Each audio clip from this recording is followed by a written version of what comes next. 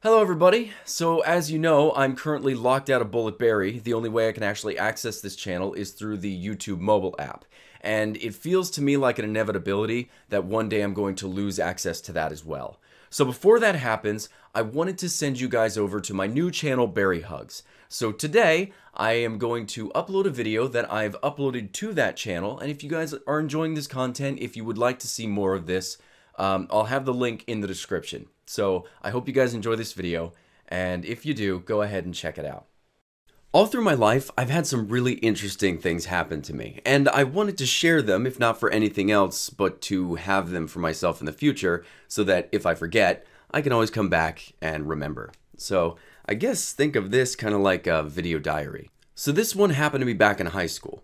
So there I am, I had just gotten off the bus in the middle of the day. Now the reason for this was because around lunchtime, a group of 30 or so kids would get on a bus and we'd be taken about two or three miles away from the school to another facility called the Land Lab, and there we would learn science and English. After those classes were done, we would be driven back to the school, and then we would go on to our next class. The only thing was, I had about like 20 minutes before my next class started, so I would just walk around the school every so often until my next class would begin. So there I am, I just gotten off the bus, and I start walking through the school, and I'm walking up and down the hallway.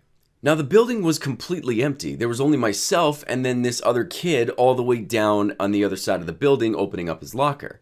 Well, he opens up his locker and a live bat flies out of the locker, hits him in the forehead, he falls over screaming, right? The bat is flying around, and the kid is like freaking out. Now, at this point, I'm dying. Like, I'm laughing hysterically. Apparently, someone had caught a bat and threw it into this kid's locker as a prank. The kid stands up and sprints out the door as fast as he can. There was a door right next to him. Now, at this point, again, I'm, I'm just losing my mind. Like, I am laughing like crazy when this bat starts flying my direction.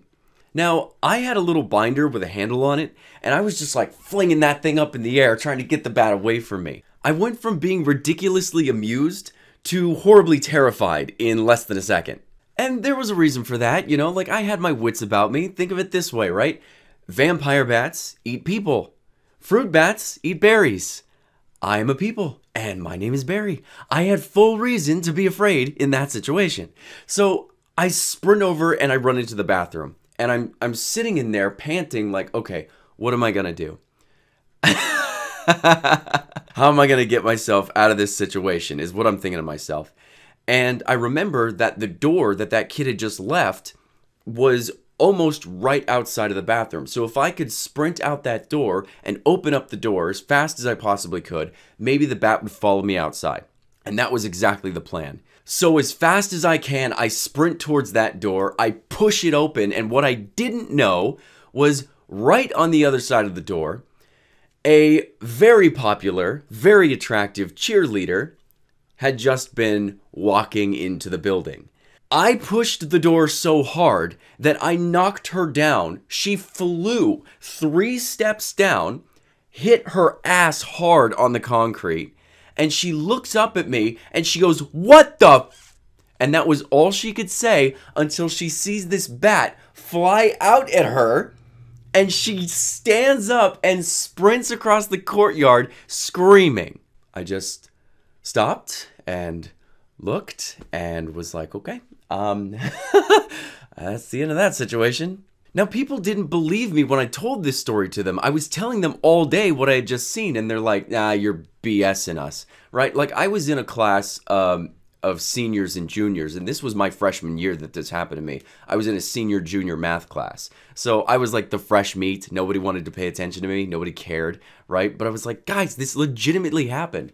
The next day, it's what everyone's talking about. Eventually, I found the kid who thought of the prank to begin with and found the bat and threw it into the locker. And I walked up to him and I asked, Man, I gotta know, was that hard to catch that thing? Like, how long did that take? And he goes, Honestly, it wasn't that difficult. I caught it right off the bat. Thank you guys so much for watching. If you enjoyed this video, please, again, go into the description, go ahead and check out my new channel. I'm going to be populating that with a buttload more stories very soon. Thank you guys so much, and hopefully we get this whole channel situation figured out soon. Bye, guys.